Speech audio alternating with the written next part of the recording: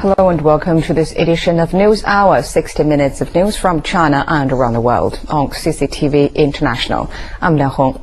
Israeli troops are continuing to withdraw from Gaza after their government as well as Hamas called for halt to the three-week conflict. Both sides put their best spin on the conflict's seeming conclusion despite neither side achieving long-term goals.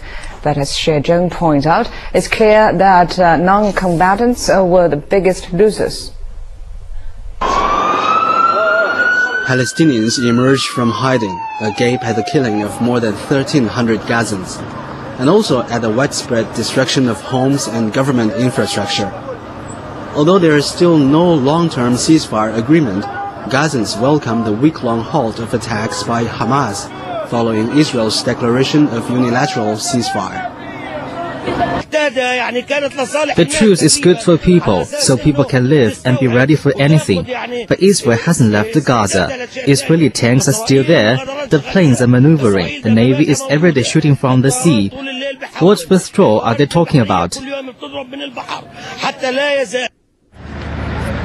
Nevertheless, the head of Hamas has claimed a popular victory against Israel.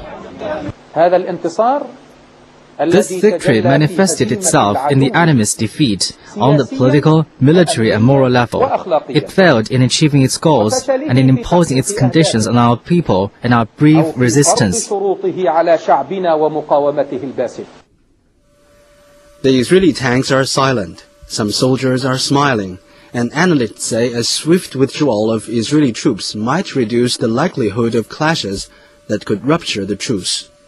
The Israeli military is warning that the next few days are critical. It says any Hamas attacks will be met with harsh retaliation. Prime Minister Ehud Olmert has declared the mission accomplished. He also says his country has no desire to stay in Gaza.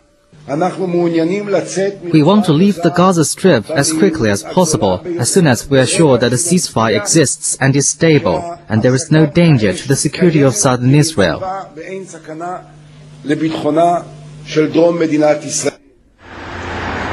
Although skeptical about how long the ceasefire will last, the residents of southern Israel, often the target of Hamas rockets, hope peace will prevail.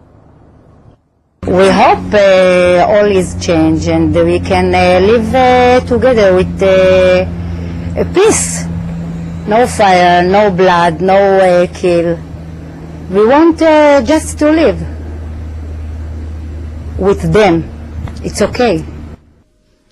But at least for now, Gaza's situation stands much the same as it did before the conflict, with an armed standoff and dim prospects for the 1.5 million Palestinians fenced inside.